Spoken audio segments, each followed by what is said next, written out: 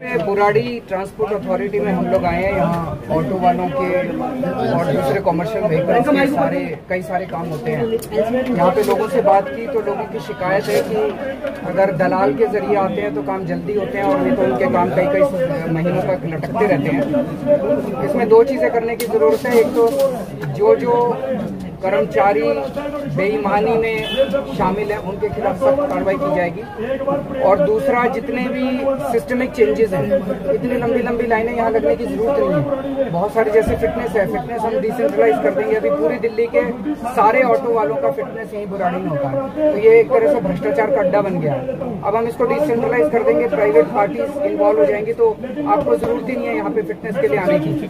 तो इस तरह की बहुत सारी चीज़ें हैं। मैंने अभी इन लोगों को ये बोला है कि जिस जिस काम के लिए यहाँ पे लोग आते हैं। वो सारे कामों की लिस्ट दें और उसके बाद इसको कम्प्लीटली तमाम अधिकारी आपके साथ थे यहाँ पर। क्या किसी पर शिकायतें जो मिली है उसमें ये भी कहा गया कि इसमें से एमएलओ पर आरोप लगाए गए काम नहीं होने देते दलालों के ज़रिए यहाँ पे काम होते उन आरोपों में स्पेसिफिक केसेस को देखेंगे।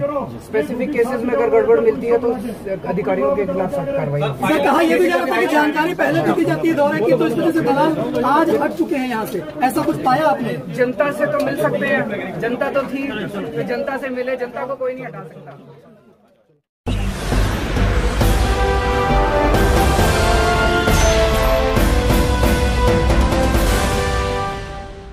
एच में जाके कहीं ये लिखा हुआ है कि सेंट्रल गवर्नमेंट की अगर स्कीम होगी तो उसको करेंगे। जबकि हम अपनी दिल्ली में करना चाहते हैं, दिल्ली की स्कीम लागू करना चाहते हैं, उसमें कोई चेंज नहीं कर रहे सेंटर के किसी प्रोविज़न में कोई चेंज नहीं है। क्यों उसको बार बार वो लिख रहे हैं? तो हमने उनसे यही कहा है।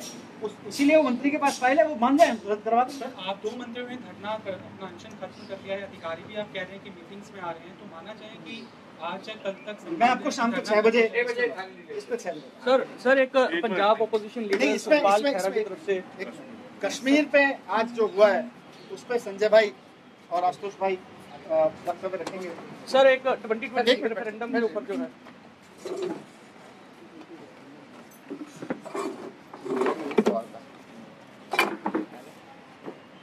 धरती का स्वर्ग कहा जाता है।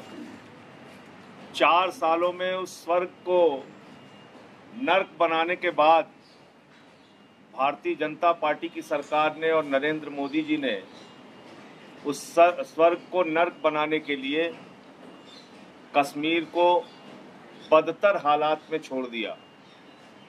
और जो बातें वो कह रहे हैं, उसको सुनकर हँसी आती है यही भारतीय जनता पार्टी की सरकार थी और नरेंद्र मोदी जी थे और इनके लोग थे, जो चिल्ला चिल्ला के कहते थे कि नोटबंदी से आतंकवाद देश में खत्म हो जाएगा।